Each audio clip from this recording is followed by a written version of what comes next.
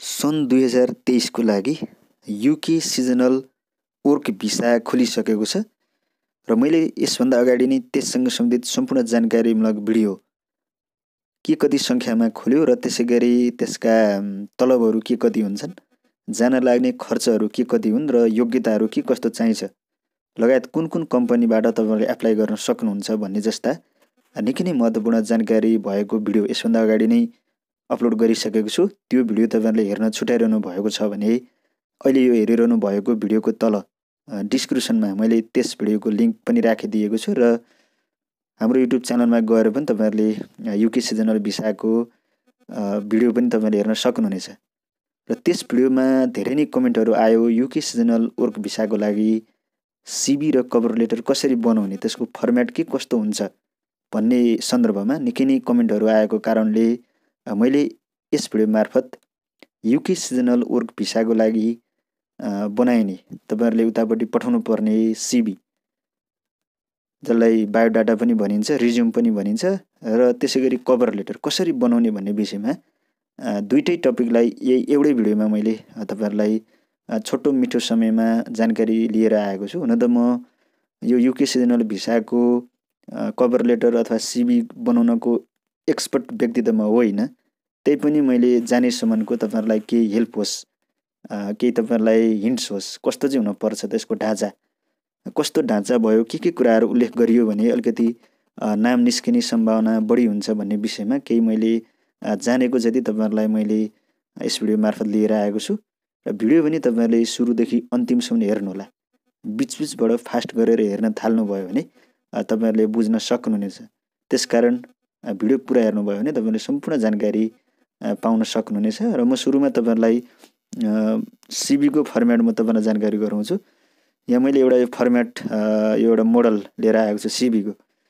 यो सिबी अथवा resume biodata भनिन्छ यसको अब तपाईँहरूले धेरैवटा फर्मेटहरू भेटाउन सक्नुहुनेछ सिबीको। तपाईँहरूलाई जुन चाहिँ जुन फर्मेट अलिकति राम्रो जस्तो लाग्छ त्यो फर्मेट तपाईँहरूले एमएस ओड माइक्रोसफ्ट अफिसमा गएर तपाईँहरूले कम्प्युटरबाट टाइप गरेर प्रिन्ट निकाल्ने हो। त्यो टाइप गरेको पिडिएफमा सेभ गरेर उताबाट जस्तै तपाईँहरूलाई एप्लाई गरिसकेपछि युके सिजनल भिसाको लागि एप्लाई गरिसकेपछि मेलमा तपाईँहरूलाई सिबी र कभर लेटर पठाउनु भनेर केही गरी मेल आयो भने तपाईँहरूले त्यो मेलमा यो तपाईँहरूको आफ्नो सिबी अथवा कभर लेटरलाई पिडिएफ बनाएर अथवा जेपिजी फर्मेटमा पनि पठाउन सक्नुहुनेछ। अब यहाँ मैले एउटा सिबीको ढाँचा लिएर आएको छु हुन त यो सिबीको आफ्नै ढाँचा हुन्छ। मैले यहाँ बनाएकै ढाँचामा तपाईँहरूले बनाउनु पर्छ। भन्ने त हुँदैन। तैपनि अलिकति तपाईँहरूलाई आफूलाई कुन चाहिँ ढाँचा राम्रो लाग्छ कुन ढाँचामा अलिकति झटक्क हेर्दाखेरि अलिकति एट्र्याक्टिभ पढौँ पढौँ जस्तो अलिकति त्यहाँभित्रका कुराहरू पनि हेरौँ जस्तो लाग्ने हुन्छ त्यो तपाईँहरूले त्यो सिबीको ढाँचामा आफ्नो सिबी बनाएर त्यो फर्मेटमा सिबी बनाएर पनि तपाईँहरूले पठाउन सक्नुहुनेछ। यहाँ मैले बनाएको सिबी पनि मैले यो माइक्रोसफ्ट अफिस ओडमा गएर मैले त्यहाँ विभिन्न टेम्प्लेट्सहरू अथवा फर्मेटहरू हुन्छन् त्यो फर्मेटमध्ये कुनै एउटा मैले लिएर आएको हो। र यतापट्टि साइडमा तपाईँहरूले माथि देख्न सक्नुहुन्छ हिमाल मगर भन्ने छ यो व्यक्तिको नागरिकता अनुसारको नाम थर भयो। र त्यसै गरी यतापट्टि साइडमा ठेगाना गोर्खा भीमसेन रुरल म्युनिसिपालिटी भनेको भीमसेन गाउँपालिका एउटा नम्बर छ भयो। र यपट्टि फोन नम्बर फोन नम्बर भने तपाईँहरूले प्लस नाइन सेभेन सेभेन भनेर राख्नु होला किनभने नेपालको फोन नम्बरको कोड अन्तर्राष्ट्रिय स्तरको कोड भनेको प्लस नाइन सेभेन सेभेन हो। र मुनिपट्टि जिमेल एड्रेस तपाईँहरूको Himal M A nine nine at the rate Gmail dot com भने जस्तै तपाईँहरूको जस्तै Ram Ram at the rate Gmail dot com ABC at the rate Gmail dot com जस्तो तपाईँहरूको आफ्नो मेल एड्रेस इमेल एड्रेस पनि राख्नु होला। त्यो भयो भने तपाईँलाई पछि जिमेलहरू आउँदा पनि अलिकति सजिलो हुन्छ र फोन नम्बर पनि प्लस राखेर गर्न सक्नुहुन्छ। त्यसै गरी मुनिपट्टि अलिकति तपाईँहरूको आफ्नो थोरै इन्ट्रोडक्सन जस्तो किसिमको I am a farm worker with knowledge and experience helping to carry out day-to-day tasks and long-term projects of farms. I have knowledge of use of farm equipment and machinery, farming uh, procedure, skilled in soil preparation irrigation and poultry भनेर राखिएको छ यो चाहिँ तपाईँहरूले यसलाई मिलाएर जस्तै तपाईँहरूको कोही इङ्ग्लिसमा एकदम जान्ने हुनुहुन्छ तर तपाईँलाई इङ्ग्लिस आउँदैन भने उहाँ व्यक्तिसँग तपाईँले सल्लाह लिएर जस्तै नेपालीमा तपाईँहरूले भनेर उहाँलाई इङ्ग्लिसमा त्यसलाई चाहिँ ट्रान्सलेट गर्न लगाएर पनि तपाईँहरूले मिलाएर लेख्न सक्नुहुन्छ। यहाँ चाहिँ के भनेको छ भने म चाहिँ एउटा कृषि सम्बन्धी काम गर्न जानेको व्यक्ति हुँ। मसँग त्यो किसिमको एक्सपिरियन्स छ। कृषिसँग सम्बन्धित दैनिक कामहरू गर्नको लागि मसँग त्यो अनुभव छ र मलाई कृषिसँग सम्बन्धित औजारहरू मेसिनरीहरू प्रयोग गर्न पनि आउँछ। र माटोहरू विभिन्न माटोहरू मलजल गर्ने माटोहरूसँग सम्बन्धित कामहरू त्यसै गरी सिँचाइ इरिगेसनका कामहरू पनि मलाई आउँछ भनेर चाहिँ यहाँ थोरै इन्ट्रोडक्सन दिएको किनभने तपाईँहरूको युके सिजनल वर्किङ भिसा भनेको विशेष गरी कृषि क्षेत्रको लागि। कृषिमा पनि विशेष गरी गोडमेडा टिप्ने फलफुलहरू टिप्ने गोडमेडहरू गर्ने त्यसै गरी मलजलहरू गर्ने नै हो तपाईँहरूको विशेष गरी कामहरू। यो सानो इन्ट्रोडक्सन भयो दुई तिन लाइनभन्दा लामो यो लेख्न हुँदैन। र त्यसपछि स्किल्स भन्ने अर्को टपिक हुन्छ। स्किल्स भनेको तपाईँसँग सिप के के छ? खुबी कला के के छ तपाईँहरूसँग? Knowledge of plants knowledge of crop cultivation knowledge of poultry farming भयो। त्यसरी स्किल्समा तपाईँले knowledge basic knowledge of speaking and writing इङ्ग्लिसहरू पनि राख्न सक्नुहुन्छ। त्यो पनि स्किल्स भयो तपाईँहरू सिप भयो। इङ्ग्लिस पनि थोरै बोल्न सक्ने एउटा सिप भयो। त्यो पनि राख्न सक्नुहुन्छ र अरू यो कृषिसँग सम्बन्धित अरू तपाईँहरूले सिपहरू पनि राख्न सक्नुहुन्छ यहाँनिर। अब नलेज अफ प्लान्ट्स भनेको बोट बिरुवासँग सम्बन्धित ज्ञान छ। क्रप कल्टिभेसन तपाईँहरूसँग बिउहरू रोप्ने बिउहरू उत्पादन गर्ने त्यो नलेज पनि छ जस्ता तपाईँहरूले स्किल्स राख्न सक्नुहुन्छ। त्यसपछि एक्सपिरियन्स मुख्य गरी यो युके सिजनल भिसामा चाहिने भनेको एक्सपिरियन्स हो अनुभव हो। हुन त अनुभव नभए पनि तपाईँहरूले फर्म भर्न मिल्छ तर अनुभव छ तपाईँहरूसँग अनुभवको केही सर्टिफिकेट छ भने अलिकति तपाईँहरूलाई कम्पिटिसन धेरै हुन्छ। त्यही भएर अलिकति अरूको भन्दा बढी अङ्क आउँछ र तपाईँहरूलाई युके जानको लागि अलिकति सजिलो हुन्छ। अब यहाँ मैले एउटा उदाहरणको लागि एक्सपिरियन्स भनेर मुनिपट्टि सन् दुई हजार अठारदेखि दुई हजार एक्काइस अठार बिस एक्काइस चार वर्षको यो अनुभव भयो। पद के हो त? Farm worker. कृषि कामदार फार्म वर्कर भयो। कम्पनीको नाम के हो? ABC farm centre. लोकेसन कता छ भन्दा काठमाडौँ। यसरी तपाईँहरूले राख्न सक्नुहुन्छ। अब यहाँ तपाईँहरूले के के काम गर्नुहुन्थ्यो त? विशेष गरी तपाईँहरूले के के काम गर्नुहुन्थ्यो? एउटा थोरै तिन लाइन पाँच लाइन सात लाइन जतिको पनि राख्न सक्नुहुन्छ। यहाँ मैले थोरै मात्रै राखेको छु तिनवटा पोइन्ट राखेको छु जस्तै handle daily farm operations including the planting cultivating and processing of fruits and vegetable crops दैनिक क्रियाकलापहरू कृषिसँग सम्बन्धित दैनिक क्रियाकलापहरू बिउहरू रोप्ने त्यसरी मलजल गर्ने लगायत फलफुलहरू तरकारीका बोट बिरुवाहरू हेर्ने गोडमेल गर्ने लगाउने जे पनि तपाईँले मिलाएर राख्न सक्नुहुन्छ तर कृषिसँग सम्बन्धित मात्र तपाईँले राख्नुहोला maintain farm machines and prepare soil for different processes विभिन्न कृषि औजारहरू तपाईँहरूले चाहिँ अलिअलि बनाउने त्यसको चाहिँ रेखदेख गर्ने त्यसै गरी माटोको पनि विभिन्न अब त्यहाँ तपाईँहरूको खन्ने खन्दाखेरि डल्लाहरू फुटाउने लगायत विभिन्न कुराहरू छन्। त्यो कुराहरू भयो। Handle the weeding thinning and pruning of crops भनेर भनिएको छ। अब यो क्रप्ससँग सम्बन्धित तपाईँहरूको कृषिसँग सम्बन्धित। तपाईँहरूले यसरी यहाँ मैले तिन लाइन देखाए पनि तपाईँहरूले यसलाई पाँच लाइन दस लाइन जति पनि मिलाएर राख्न सक्नुहुन्छ अनुभव भयो त्यो भनेको तपाईँले के गर्नुभयो? पद के हो तपाईँहरूको? कुन कम्पनीमा गर्नुभयो? कुन कृषिको त्यो जुन चाहिँ अफिसमा गर्नुभयो? लोकेसन कता हो? त्यो राख्ने हो र मिति राख्ने हो। एजुकेसन छ। अब एजुकेसनको पनि अलिकति महत्त्वपूर्ण हुन्छ जस्तै तपाईँहरू कक्षा दस पास हुनुहुन्छ होला प्रायः कक्षा दस मात्रै हुनुहुन्छ भने एसई सेकेन्डरी लेभलको त्यो जुन चाहिँ एजुकेसन हुन्छ तपाईँको एसई भनेको पहिला एसएलसी भनिन्थ्यो अहिले एसई भनिन्छ। एसएलसी हो भने एसएलसी राख्नु होला। एसई भनेर अझै ब्राकेटमा तपाईँले क्लास टेन भनेर पनि राख्न सक्नुहुन्छ। माथिपट्टि जस्तै मैले सुरुमा मार्च दुई हजार बिस भनेर भनेको छु। यो भनेको तपाईँहरूले कहिले पास गर्नुभयो? तपाईँहरूको त्यो मार्कसिटमा यो डेट हुन्छ मार्च दुई हजार बिस। इन्टरमिडिएट भनेको तपाईँहरूको कुन level? Intermediate plus two level भयो। स्कुलको नाम र location. Shri Mahendra secondary school Gorkha राखेको छ। डिसेम्बर सत्र दुई हजार सत्र भनेको यो एसई पास गरेको साल। श्री महेन्द्र सेकेन्डरी स्कुल गोर्खा यसरी तपाईँले राख्न सक्नुहुन्छ। यो भनेको तपाईँको सिबीको फर्मेट भयो। अन्तिममा थ्याङ्क यू भनेर मुनिपट्टि तपाईँले थ्याङ्क यू भनेर पनि राख्न सक्नुहुन्छ। यसरी यो एउटा सिबीको फर्मेट छ। यही फर्मेट हुनुपर्छ भन्ने छैन। तर मैले तपाईँहरूलाई एउटा यो बुझाउनको लागि सिबीमा हुनु पर्ने फर्मेटहरू के के हो? स्किल्स छुट्नु भएन। एक्सपिरियन्स भनेको तपाईँहरूको अनुभव हो विशेष गरी अनुभव छुट्नु भएन र एजुकेसन एजुकेसन पनि छुट्नु भएन र तपाईँहरूले यो जुन चाहिँ लोकेसन हुन्छ तपाईँहरूको लोकेसन फोन नम्बर र जिमेल ठेगाना त्यो पनि तपाईँहरूको छोड्नु भएन।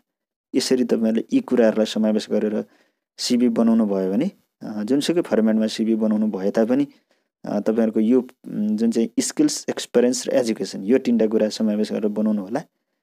तपाईँहरूको पक्कै पनि यस्तो शिविरलाई मान्यता दिइन्छ अन्तर्राष्ट्रिय स्तरमा। सिबी पछि अब म तपाईँहरूलाई जानकारी गराउँछु यसको कभर लेटर कभर लेटर कसरी बनाउने त यो युके सिजनल वर्किङ भिसाको लागि कभर लेटर कसरी बनाउन सक्नुहुन्छ तपाईँहरूले? भन्ने विषयमा म तपाईँलाई एउटा कभर लेटरको स्याम्पल पनि मैले लिएर आएको छु। हुन त म यो कभर लेटर अथवा सिबी रिज्युमहरू बनाउनको लागि एक्सपर्ट अथवा विशेषज्ञ त होइन। त्यही पनि अलिकति जानेसम्मको तपाईँहरूलाई केही हेल्प होस् के के कुराहरू समावेश गर्नुपर्छ। कस्तो फर्मेटमा राख्नुपर्ने हुन्छ यो कभर लेटर अथवा सिबीहरू भन्ने विषयमा। केही हेल्प होस् भनेर मात्रै मैले तपाईँलाई जानकारी दिएको हुँ। र यो मैले यहाँ एउटा कभर लेटरको स्याम्पल लिएर आएको छु जस्तै माथि तपाईँले डेट देख्नुहुन्छ। जेरो तिन जनवरी दुई हजार तेइस भनेको डेट तपाईँले कुन दिन यो कभर लेटर तपाईँले बनाउँदै हुनुहुन्छ त्यो डेट तपाईँहरूले नछुट्याइकन राख्नु होला फ्रम भनेको फ्रम भनेको यो बाटो को बाटो चाहिँ कभर लेटर बन्दैछ भन्दा Himal Magar. Bhimsen rural municipality ward number zero six Gorkha Nepal भनेको चाहिँ देशको नाम नछुटाउनु होला। देशको नाम पनि चाहियो किनभने युके सिजनल भिसाको लागि नेपालबाट मात्रै एप्लाई हुने होइन। विभिन्न देशहरूबाट एप्लाई हुन्छ। त्यसरी मुनिपट्टि तपाईँहरू आफ्नो जिमेल ठेगाना तपाईँले जिमेल ठेगाना पनि नछुटाइराख्नु होला। त्यसपछि टु भनेको अब कुन कम्पनीमा हो तपाईँहरूले टु टु भनेको लाइ हो। कम्पनी नेम राख्नु होला। कम्पनी नेममा के हो तपाईँहरूको? एजी रिक्रुटमेन्ट हो कि? अथवा अरू कुनै कुन कम्पनी हो? जम्मा छवटा कम्पनीहरू छ अहिले। यो युके सिजनल भिसाको लागि एप्लाई गर्नु मिल्ने कम्पनी। त्यो छवटामध्ये कुन हो? त्यो कम्पनीको नाम तपाईँले राख्नु होला। त्यसको एड्रेस कहाँ छ? त्यो एड्रेस पनि तपाईँले राख्न सक्नुहुन्छ। त्यो एड्रेसहरू कम्पनीको वेबसाइटमै तपाईँले देख्न सक्नुहुन्छ र फोन नम्बर। कम्पनीको फोन नम्बर पनि राख्नु होला। फोन नम्बर अथवा जिमेल कि फोन नम्बर? कि जिमेल एड्रेस तपाईँले राख्नु होला। यो माथिको फर्मेट भयो तपाईँले बुझिसक्नु भएको छ। त्यसै गरी अब मुनिपट्टि चाहिँ तपाईँले लेख्नुपर्ने हुन्छ जस्तै यहाँनिर एउटा मैले सानो छोटो मिठो लेखेको छु। डियर म्यानेज एजी रिक्रुटमेन्ट भनेर यहाँ मैले राखेको छु। डियर म्यानेजर एजी रिक्रुटमेन्ट भनेको अब कुन हो? डियर म्यानेजर अफ अर्को कुनै कम्पनी हो कि कुन हो? तपाईँहरूले कुन कम्पनीमा कभर लेटर पठाउँदै हुनुहुन्छ त्यो कम्पनीको नाम राख्नु डियर म्यानेजर अफ डट कुन कम्पनी हो? त्यो राख्नु तपाईँहरूले। अब यहाँनिर जस्तै यो कभर लेटर भनेको के हो भने वास्तवमा तपाईँहरू कुन पदको लागि तपाईँले एप्लाई गर्नुभयो कुन कामको लागि त्यो कामसँग सम्बन्धित तपाईँहरूको के कस्तो छ विगतका ज्ञानहरू के कस्तो छ अनुभवहरू के कस्तो छ तपाईँहरूलाई के के कुराहरू आउँछ थाहा छ भन्ने विषयमा थोरै दस पन्ध्र लाइनको छोटो मिठो गरी थोरै शब्दमा तपाईँले धेरै अर्थ लाग्ने हिसाब किसिमको एउटा हिसाबको अथवा किसिमको शब्दहरू तपाईँले चयन गरेर राख्नुपर्ने हुन्छ त्यसको लागि पनि तपाईँहरूलाई यदि इङ्ग्लिसमा अलिकति समस्या छ भने कोही इङ्ग्लिसमा जान्ने बुझ्ने व्यक्तिहरू तपाईँहरूको चिनजानको हुनुहुन्छ भने उहाँहरूलाई पनि तपाईँहरूले सम्पर्क गरेर भेटघाट गरेर अथवा फोनबाट तपाईँहरूले भन्न खोजेको के कुरा हो त्यसलाई नेपालीमा उहाँहरूलाई सुनाएर उहाँहरूले इङ्ग्लिसमा चुल्ठा गरिदिएर इङ्ग्लिसमा ट्रान्सलेट गरेको कुरा तपाईँहरूले त्यो इङ्ग्लिसको लेखेर तपाईँहरूले यसरी यो कम्प्युटरबाट टाइप गर्न पनि सक्नुहुन्छ। यहाँ मैले जे लेखेको छु त्यही नै तपाईँले टाइप गर्नुपर्छ त्यही नै पठाउनुपर्छ भन्ने होइन। यो चाहिँ एउटा फर्मेट हो स्याम्पल हो। यो यस्तो यस्तो चाहिँ हुन्छ भनेर। यहाँनिर के भनेको छ भने I grew I grew up on a farm and have always wanted to turn my knowledge and skills into a profession my interest in agriculture is part of what makes me a good candidate for the as recruitment seasonal job worker I have experience of pick fruits maintain garden and work with poultry and farming related works भनेर भनिएको छ। यो भन्नाले के हो भने म सानैदेखि कृषि पेसा अथवा कृषि क्षेत्रमा हुर्किएको व्यक्ति हुँ र मलाई यो कृषिसँग सम्बन्धित ज्ञानहरू छ र यो कृषिलाई नै म आफ्नो चाहिँ एउटा प्रोफेसन अथवा एउटा काम अथवा जिम्मेवारीको रूपमा बन्द गर्न चाहन्थेँ अथवा चाहन्छु भनेर भनिएको छ। अब नेपाल भनेको एउटा कृषि प्रधान देश हो त्यो भएर तपाईँहरूले यसरी मिलाएर पनि लेख्न सक्नुहुन्छ अथवा यसलाई तपाईँहरूले as you know my country Nepal is a agricultural country भनेर पनि स्टार्ट गर्न सक्नुहुन्छ। तपाईँहरूलाई थाहा नै छ मेरो देश नेपाल कृषि प्रधान देश हो भनेर त्यसरी पनि सुरु गर्न सक्नुहुन्छ इङ्ग्लिसमा। तपाईँहरूले कसरी लेख्दा चाहिँ अलिकति राम्रो हुन्छ जस्तो लाग्छ तपाईँहरूले त्यसरी नै मिलाएर लेख्न सक्नुहुन्छ। तर सुरुमा एउटा फर्मेट रफ पेपरमा फर्मेट लेखेर मात्रै टाइप गर्नु होला। अब मेरो सानैदेखि कृषि क्षेत्रमा इन्ट्रेस्ट भएको कारणले मैले अहिले तपाईँहरूको यो कम्पनी एजी रिक्रुटमेन्टबाट मैले यो सिजनल वर्क जब वर्करको लागि एप्लाई गरेको छु भनेर यसरी राख्न सक्नुहुन्छ। अब कुन कम्पनी हो? एजी रिक्रुटमेन्टको सट्टा तपाईँले कुन अर्कोमा गर्दै हुनुहुन्छ भने त्यो कम्पनीको नाम राख्नु होला। मसँग के के अनुभव छ भन्दा पिक फ्रुट्स म फलफुलहरू टिप्ने गार्डनहरू भनेको यो विभिन्न बोट बिरुवाहरू मलजल गर्ने गोडमेल गर्ने त्यो भयो र त्यसै गरी तपाईँहरू फार्मिङसँग रिलेटेड विभिन्न कामहरू गर्नको लागि मसँग अनुभव छ। मुनिपट्टि अर्को प्याराग्राफमा भनेको छ दुईदेखि तिन प्याराग्राफमा लेख्नु होला तपाईँहरू दुईदेखि तिन प्याराग्राफमा। प्याराग्राफ भनेको अनुच्छेद भयो नेपालीमा। I have inspected by fruits by hand in order to evaluate their health and ripeness मलाई फलफुल छामेरै कतिको पाक्यो कतिको खान लायक छ टिप्न लायक छ भनेर चाहिँ मलाई थाहा हुन्छ भनेर पनि यहाँ लेखिएको छ।